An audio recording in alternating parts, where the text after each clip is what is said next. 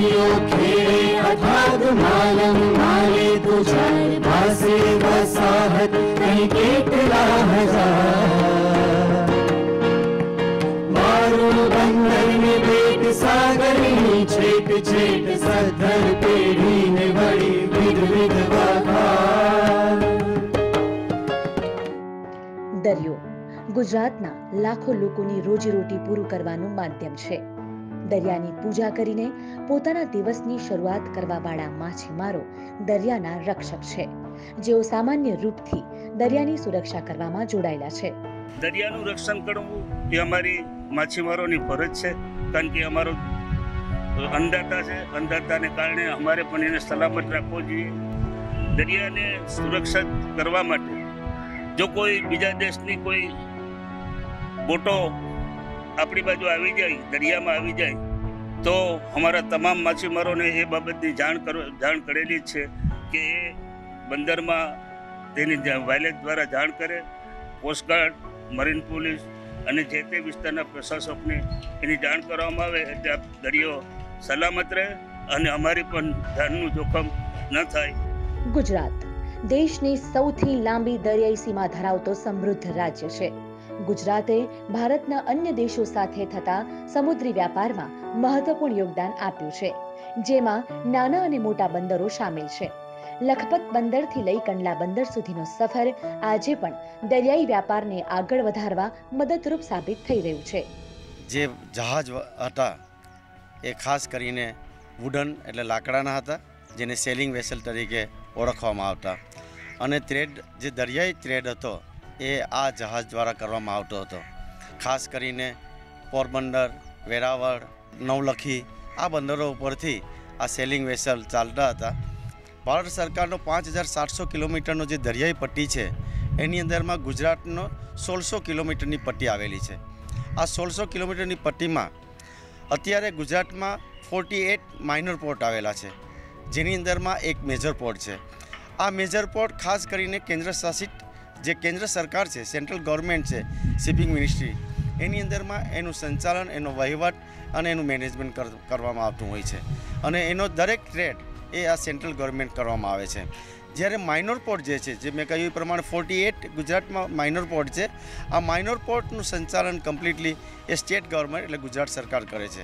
અત્યારે ગુજરાત સરકારની અંદરમાં તમે જો, તો થર્ટી વન જે દરિયાઈ વ્યવહાર છે, જે ટ્રેડ છે એ ગુજરાત સરકારના આ પોર્ટ દ્વારા કરવામાં આવે છે તો આ માઇનોર પોર્ટનો કમ્પ્લીટલી વ્યવહાર એનું સંચાલન એનું ડેવલપમેન્ટ એ ગુજરાત સરકાર કરે છે શું તમે જાણો છો દરિયાઈ સુરક્ષા સાથે જોડાયેલ દરેક બાબતનો નિકાલ લાવવા માટે તટીય પોલીસ સ્ટેશન કાર્યરત છે बारह नॉटिकल माइल और इससे लेके एक्सक्लूसिव इकोनॉमिक जोन तक के जो भी क्राइम बनते हैं तो पूरा गुजरात के लिए डेडिकेटेड एक पुलिस थाना बनाया गया है।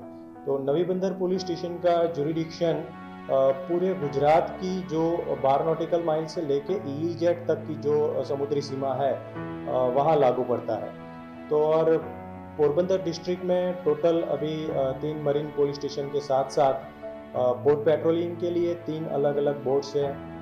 तीनों पुलिस स्टेशन की ओर से और अ, तटरक्षक दल के साथ मिलकर अ, बोट एवं समुद्र के द्वारा अ, पेट्रोलिंग हो, अ, हो रहा है इसमें और बहुत सारे लैंडिंग पॉइंट हैं लैंडिंग पॉइंट पर स्थानीय सागर सुरक्षा दल તેમજ ગ્રામ રક્ષક દલ કે દ્વારા लैंडिंग पॉइंट पर अगर कोई बिनजरूरी या अवैध कोई चीज़ें हो रही है तो उसी उसकी वॉच रखी जा रही है अ, यहाँ पोरबंदर डिस्ट्रिक्ट में अ, बहुत सारी कोस्टल चेक पोस्ट बनाई गई है और अलग अलग ओपीपी बनाई गई है जिसके तहत अगर कोई भी गैरकानूनी कृत्य मालूम पड़ता है तो उस पर तुरंत कार्यवाही की जाती है ચૌદમી અને સોળમી શતાબ્દીમાં કેન્દ્ર શાસિત પ્રદેશ દીવ ઓવરસીઝ ટ્રેન્ડના રૂપમાં જાહેર થયેલ બંદર હતું જ્યાંથી વિદેશોમાં સિમેન્ટ પાવડર વગેરે જેવા સામાન મોકલવામાં આવતા હતા જે ટ્રેડ છે એ આફ્રિકા,